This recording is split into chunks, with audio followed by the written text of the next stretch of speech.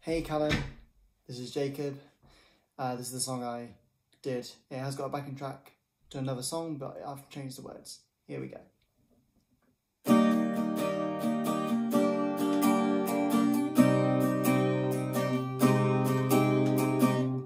Have you seen this guy? Have you seen